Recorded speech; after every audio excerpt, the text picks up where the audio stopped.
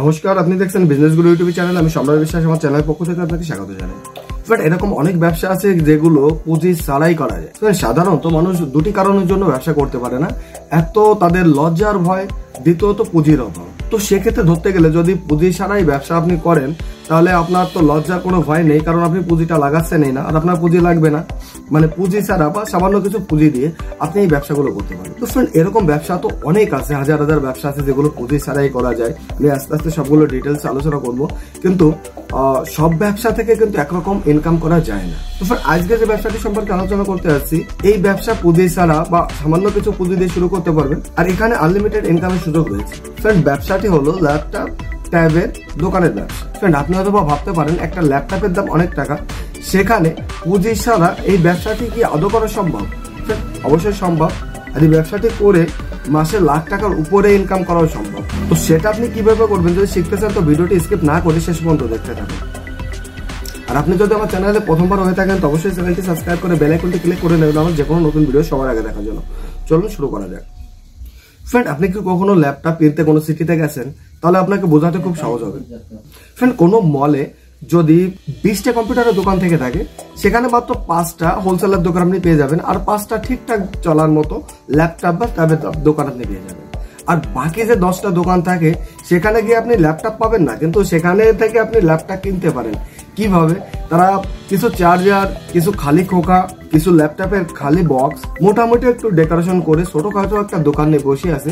তাদের কাছে কিন্তু আপনি সব ধরনের ল্যাপটপ পাবেন। তাদের কাছে কিন্তু একটা ল্যাপটপ নাই। তারা কম্পিউটার নিয়ে বসে আছেন আপনি বডির নাম্বার বলবেন আপনার বাজেট বলবেন। তাদের কাছে আপনি হাজার হাজার ল্যাপটপ পেয়ে যাবেন। আপনি শুধু বলবেন "না, আমার এই ল্যাপটপটা লাগবে।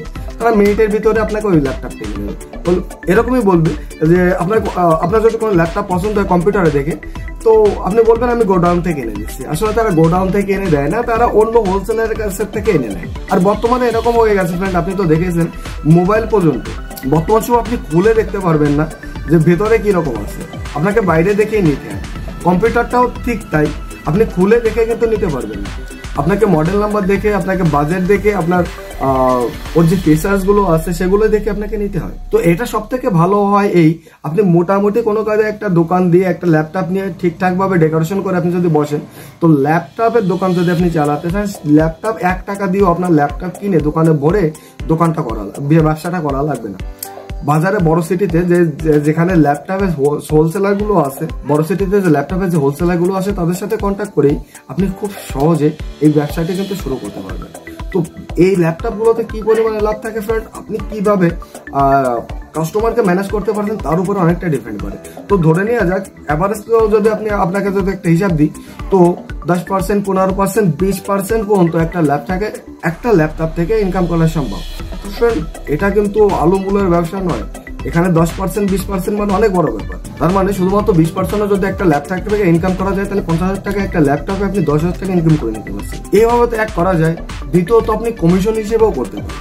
যেখানে একটা ল্যাপটপ যেরকম কোনো কাস্টমার নিয়ে যে কোনো ল্যাপটপের সাথে যে কোনো হোলসেলের দোকানের সাথে যদি আপনি আগে কন্ট্যাক্ট করে রাখেন যে আমাকে এই পরিমাণ কমিশন দিতে হবে, তাহলে তারা কিন্তু কমিশনটা খুব সহজেই দেয়। আর কমিশনটা সচরাচর পাওয়া যায়। তো এই কমিশনের যে ব্যাপারগুলো আছে, সেগুলো যারা ছোটখাটো দোকানদার আছে যেরকম চার্জারের দোকান, ফির মোবাইলের দোকান, এরা কিন্তু এই ধরনের কাজবাজ করে থাকে যে কাস্টমার সাথে কন্ট্যাক্ট করল, তাদের সাথে গিয়ে কম্পিউটারটা কিনে দিল, আর হাজার আর হাজার খানেক টাকা কমিশন খেয়ে নিল। এক্ষেত্রে কিন্তু ব্যবসাটা চলবে না। প্রথম যে পদ্ধতিটা আছে যে, আপনি দোকান দিয়ে বসবেন হোলসেলের সাথে কন্ট্যাক্ট করা থাকবে কাস্টমারকে আপনি কম্পিউটারে যে নতুন কম্পিউটারের যে ফিচার্সগুলো আছে, সেগুলো দেখাবেন সেট করবেন হোলসেলারের দোকান থেকে এনে দিয়ে দেবেন। তাছাড়া এগুলো তো বড় সিটিতে করা যায়। আপনি যদি আপনার সিটিতে মানে ছোট সিটিতে করতে চান এগুলো, সেটাও কিন্তু সম্ভব।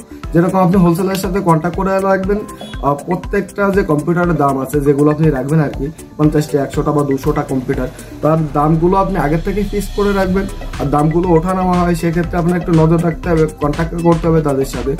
তো এক টাকাও না লাগিয়ে, যখনই আপনি অর্ডার পাবেন, যে সকালবেলা অর্ডারটা পেলেন বিকেলবেলা এনে আপনি ল্যাপটপটা ছোট সিটিতে থাকলে, বিকেলবেলা আপনি ল্যাপটপটা দিয়ে দিলেন। এখন কথা হচ্ছে ফ্রেন্ড যে কাস্টমারগুলো হোলসেলের দোকান সে এক জায়গায় আছে, আর সেক্ষেত্রে আপনার কাছে কেন? তো ফ্রেন্ড সেজন্য আপনাকে বড় করে একটা সাইনবোর্ড লাগাতে হবে যে এরকম কিছু লেগে, যেন কাস্টমারকে আকর্ষণ করে। যেরকম আপনি একটা বড় সাইনবোর্ড লাগালেন সাইনবোর্ডে আপনার দোকানের নাম লিখলেন আর এখানে কম্পিউটারের ল্যাপটপের ভালো ফটো মটো লাগিয়ে নিচে এরকম লিখে দিলেন যে অনলাইনের থেকে কম টাকায়।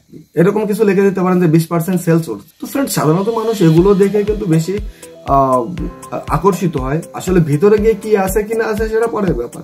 তো ভিতরে গিয়ে আপনি কোনো একটা কম্পিউটারের দাম মনে করেন যে চল্লিশ হাজার টাকা আছে। সেখানে আপনি পঁয়তাল্লিশ হাজার টাকা বলে পাঁচ পাঁচ হাজার টাকা ডিসকাউন্ট এভাবেই কিন্তু করে সব জায়গায়। মানে জামা কাপড়ের দোকান থেকে নিয়ে শুরু করে যেখানে আপনি ডিসকাউন্টের যে ব্যাপারগুলো আছে, সেখানে দু ধরনের হয়ে থাকে। এক তো পুরোনো জিনিসগুলো যেগুলো চলছে না, সেগুলো ডিসকাউন্ট দিয়ে সেল করে দেয়। আর নয়তো বেশি টাকা দাম লিখে ডিসকাউন্ট লিখে নতুন মালগুলো সেল করার চেষ্টা করে। তো ডিসকাউন্ট তো এরকম। মালের দাম এরকম না যে কেউ জিনিসটা একশো টাকা দিয়ে কিনে আপনাকে আশি টাকা বিক্রি করবে। ডিসকাউন্টটা কিন্তু এরকম হয় না। তো ফ্রেন্ড আশা করি আপনি এই ব্যবসাটি বুঝতে পেরেছেন। আরও যদি কিছু জানতে চান এই সম্পর্কে অবশ্যই কমেন্টস করবেন, আমি রিপ্লাই করব। আর আপনি যদি কাউকে হেল্প করতে চান এই ভিডিওটা দিয়ে, তো অবশ্যই তার সাথে শেয়ার করতে পারেন। আর অবশ্যই আপনি কোন ধরনের ব্যবসার আইডিয়া পেতে চান সেটা অবশ্যই কিন্তু কমেন্টসে জানাবেন। আমি রিপ্লাই করব তার উপরে বিজনেস আইডিয়া বানানোর জন্য। আর সেই টপিকের উপরেই ভিডিও বানাবো। ফ্রেন্ড দেখাবে পরবর্তী ভিডিওতে ভালো থাকবেন। নমস্কার।